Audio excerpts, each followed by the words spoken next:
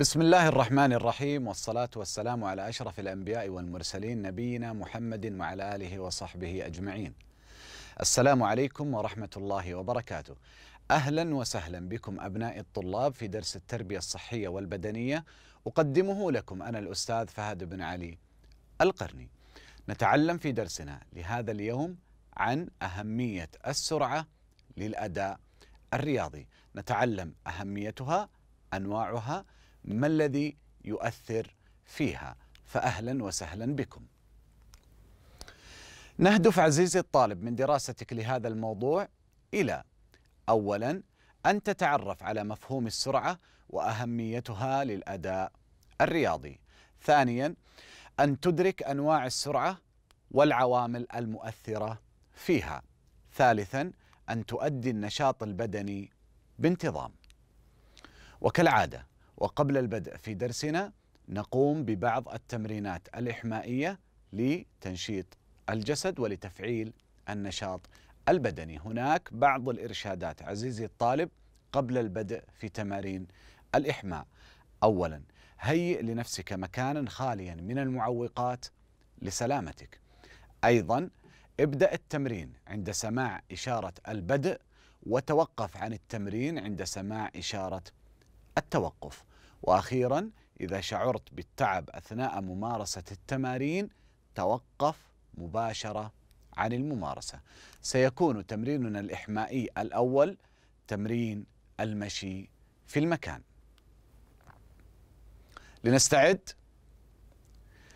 لنبدأ. واحد اثنان ثلاثة أربعة خمسة ستة سبعة ثمانية مرة أخرى واحد اثنان ثلاثة أربعة خمسة ستة سبعة ثمانية. قف. أحسنتم. نقوم الآن ب إجراء عملية التنفس كما تعلمناها في دروسنا السابقة. نستنشق الأكسجين من الأنف ونخرج ثاني أكسيد الكربون من الفم ببطء.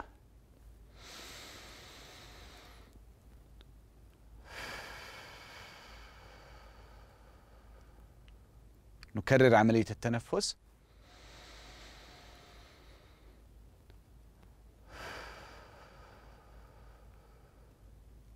أحسنتم. ننتقل الآن إلى التمرين الإحمائي الآخر وهو تمرين الجري في المكان. لنستعد؟ لنبدأ. واحد اثنان ثلاثة أربعة خمسة ستة سبعة ثمانية. مرة أخرى واحد اثنان ثلاثة أربعة خمسة ستة سبعة. ثمانية. قف. أحسنتم. نقوم الآن كما تعلمنا بين كل تمرين وآخر تكون هناك فترة استرداد وتهيئة للجسد قبل الشروع في التمرين مرة أخرى. نلاحظ زيادة في عدد ضربات القلب ارتفاع في درجة حرارة الجسد نتيجة النشاط البدني. نقوم الآن بتهدئة الجسد ومعادلة ضربات القلب بإجراء عملية التنفس.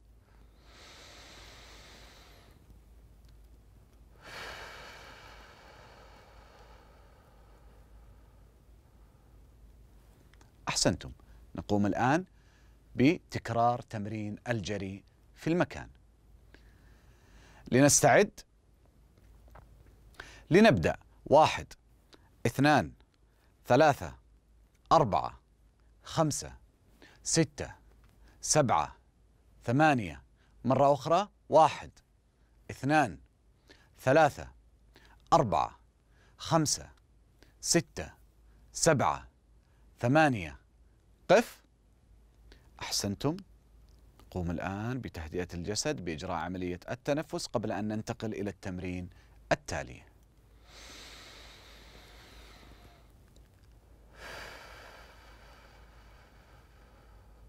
نكرر عملية التنفس.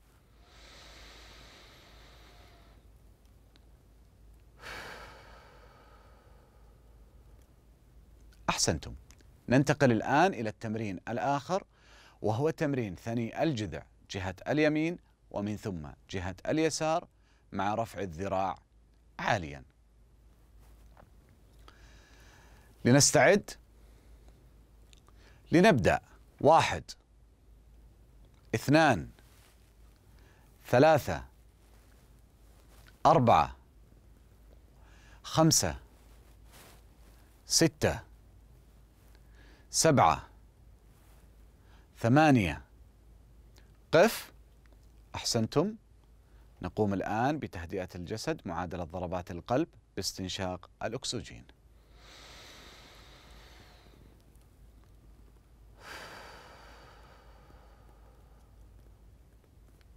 أحسنتم. ننتقل الآن إلى التمرين. الآخر وهو تمرين مد الذراعين أماما ومن ثم النزول إلى الأسفل ومعاودة الصعود. إلى الأعلى. لنستعد. لنبدأ. واحد. اثنان. ثلاثة. أربعة. خمسة. ستة. سبعة. ثمانية. قف. أحسنتم.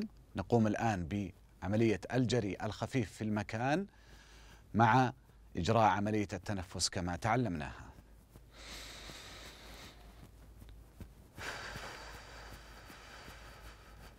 نكرر عملية التنفس.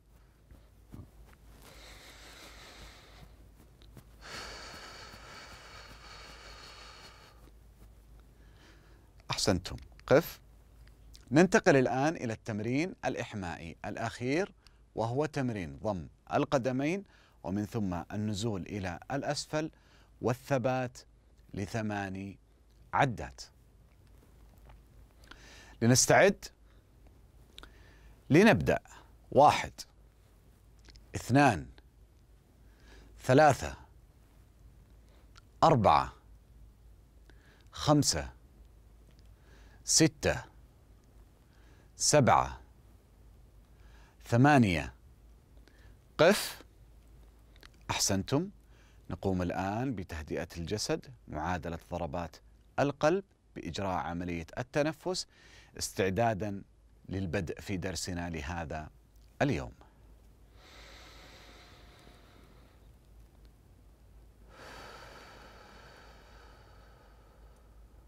نكرر عملية التنفس.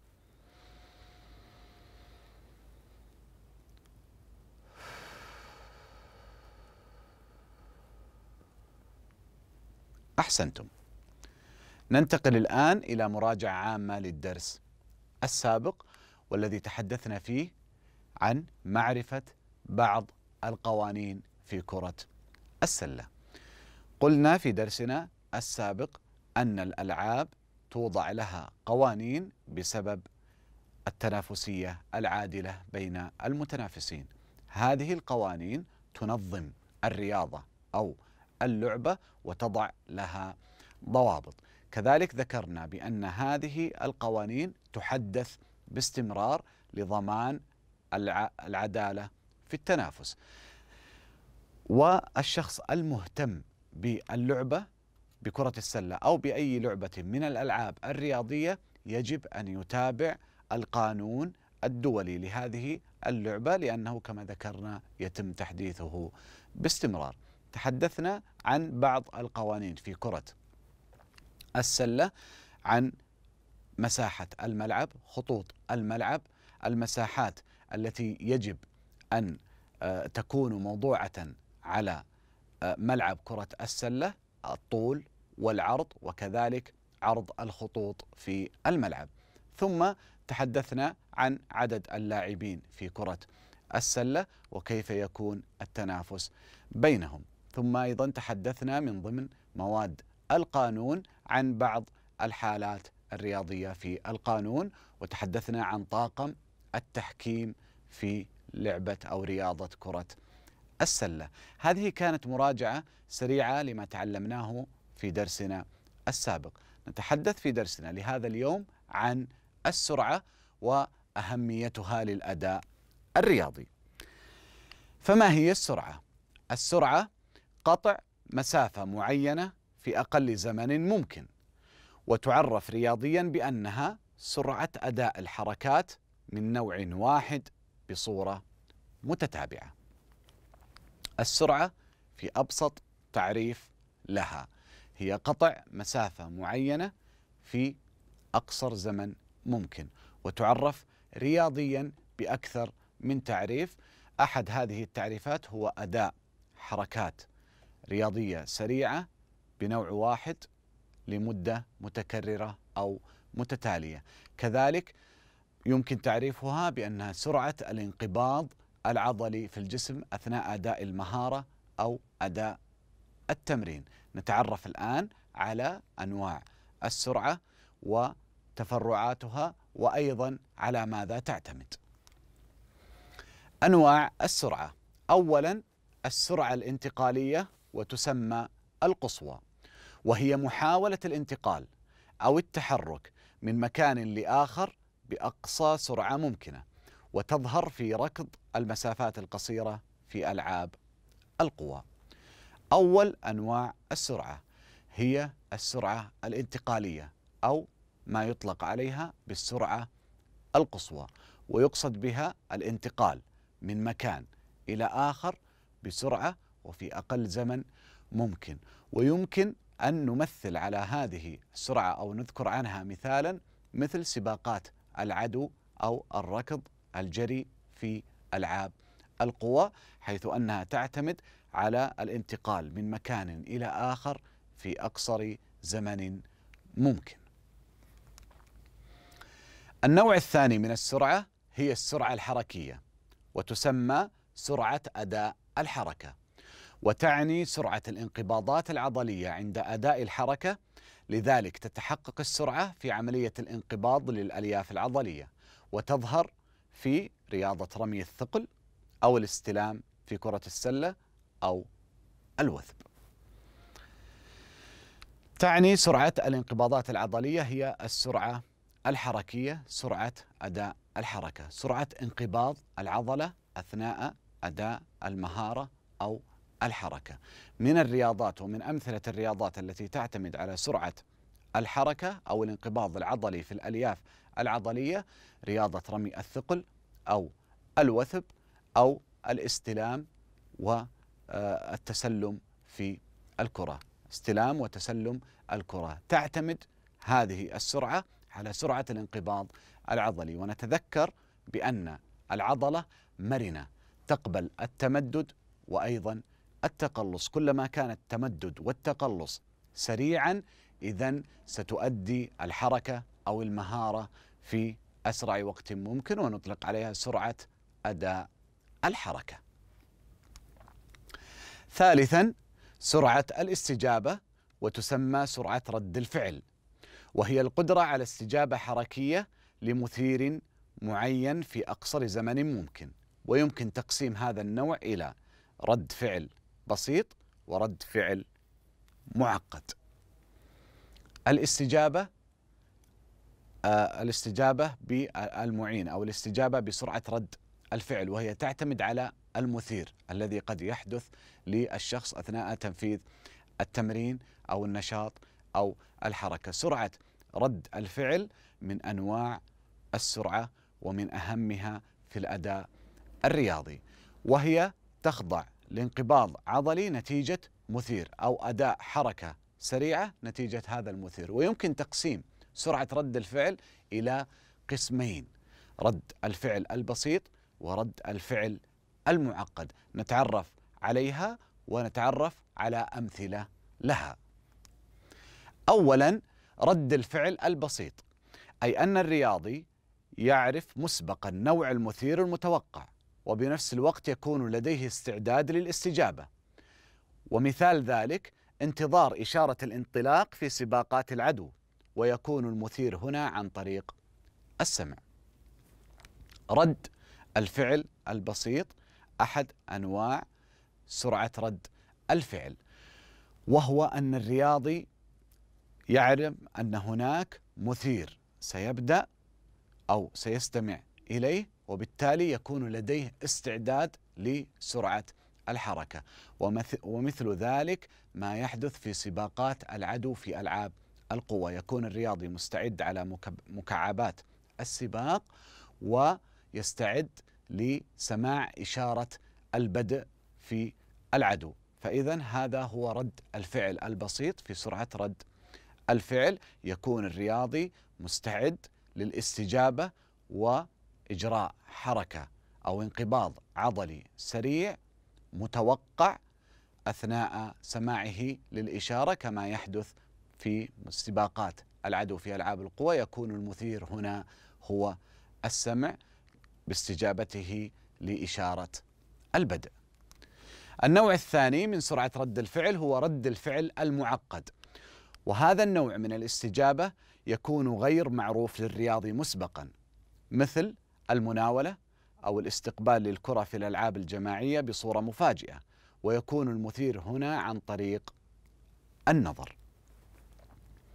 رد الفعل المعقد يكون الرياضي غير مستعد لردة الفعل أثناء أداء الحركة أو التمرين وتحدث بطريقة مفاجئة أثناء استلام الكرة في الألعاب الجماعية. قد يحدث هنا استجابة ومثير سريع للاعب يتفاجأ به وبالتالي يكون هناك رد فعل أو سرعة رد فعل لاستلام الكرة أو التمرير. ويعتمد المثير هنا على النظر في الأماكن المختلفة. مفاجأة في هذا في هذا النوع من السرعة تكون مفاجأة. مثير مفاجئ للرياضي أو اللاعب وبالتالي يعطي رد فعل سريع وحركة سريعة انقباض عضلي سريع يناسب الموقف. أهمية السرعة.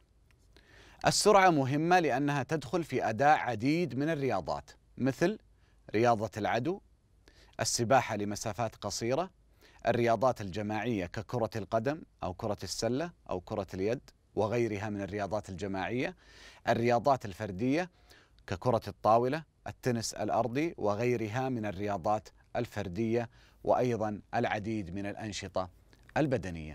لماذا السرعة مهمة في النشاط البدني أو في الأداء الرياضي؟ كما ذكرنا أن السرعة تعني سرعة الانقباض العضلي فكلما كان هناك استجابة لانقباض عضلي سريع كان هناك أداء لمهارات وحركات وتمارين بشكل صحيح وسريع يتطلب إنجاز والنجاح في هذا النشاط. من أمثلة الرياضات التي تعتمد على السرعة سباقات العدو في ألعاب القوة فهي تعتمد على سرعة الانقباض العضلي. كذلك الرياضات آه، مثل السباحة. السباحة القصيرة تعتمد على السرعة في قطع المسافة وبالتالي يكون انقباضا عضليا سريع. وكذلك الألعاب الجماعية وكما ذكرنا قبل قليل في رد الفعل تكون السرعة مهمة إما في الانطلاق من مكان إلى آخر أو في سرعة الاستجابة ورد الفعل أثناء استلام وتسليم الكرة والمناولة والتحرك من مكان إلى آخر لمباغتة الفرق أو الفريق المنافس. كذلك الألعاب الفردية ككرة الطاولة أو التنس الأرضي فهي تتطلب سرعة وانقباض عضلي سريع لأداء المهارة. كل هذه الرياضات وغيرها من الأنشطة البدنية تعتمد على السرعة في أدائها وتنفيذها وإتقانها وبالتالي فإن عنصر السرعة مهم في الأداء الرياضي. العوامل المؤثرة في السرعة أو التي تؤثر على عنصر السرعة. أولا الخصائص التكوينية للألياف العضلية. ثانيا النمط العصبي للفرد. ثالثا القوة العضلية. رابعا القدرة على الاسترخاء. وخامسا قوة الإرادة. كما ذكرنا في البداية أن السرعة تعتمد على الانقباضات العضلية. فإذا أحد العوامل المؤثرة على نجاح السرعة وأداء الحركة بشكل صحيح أو فشل أداء السرعة هو تكوين الألياف العضلية. فكلما كانت الألياف العضلية جاهزة ومكونة وممرنة يمكن أن تتمدد وتتقلص بسرعة لأداء المهارة والتمرين. كذلك النمط العصبي للفرد الإشارات الكهربائية التي تنتقل عن طريق الجهاز العصبي إلى العضلة كي تعطي الإشارة. كلما كانت جيدة كلما كان هناك انقباض عضلي صحيح يؤدي إلى السرعة في الحركة أو المهارة. كذلك القوة العضلية. كلما كان هناك قوة عضلية ومتانة في العضلة آه، تساعد الشخص على الانقباض والتمدد وأداء الحركة بسرعة. وأيضا القدرة على الاسترخاء وهو استشفاء العضلة بعد أداء المهارة والانقباض السريع قدرتها على العودة إلى حالتها الطبيعية بعد أداء انقباض عضلي سريع في الحركة أو المهارة أو التمرين أو النشاط عودتها على الاسترخاء تساعد على أنها تعمل مرة أخرى في أداء عنصر السرعة أو الحركات.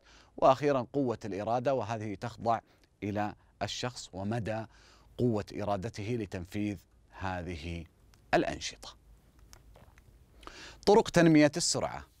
يتم تنمية السرعة بعديد من الطرق. أولا التكرارات. وتعتبر من الطرق الأساسية لتطوير السرعة وتتم من خلال عملية التكرار وذلك باستخدام الصوت أو الإشارة للبدء. ثانيا الطرق البديلة من خلال التدريب على سرعة رد الفعل المفاجئ وسرعة الحركة تواليا. ثالثا طرق استخدام المعوقات للسرعة. التكرارات هي من طرق تنمية السرعة. تكرار كما يحدث في سباقات العدو أو تدريب اللاعبين على آه، السرعة في سباقات العدو. بالتوقف ثم إعطاء الإشارة والانطلاق في أقصر زمن ممكن ثم تكرار هذا التمرين مرة أخرى. هذه التمارين المكررة تطور عنصر السرعة. الطرق البديلة هو لتطوير سرعة رد الفعل كما ذكرنا رد الفعل البسيط ورد الفعل المعقد. يتم تطويرها بوضع الشخص في أوضاع حركية مفاجئة كما يحدث في تدريب رياضة الملاكمة أيضا في رياضات الاستلام والتسليم في الألعاب الجماعية.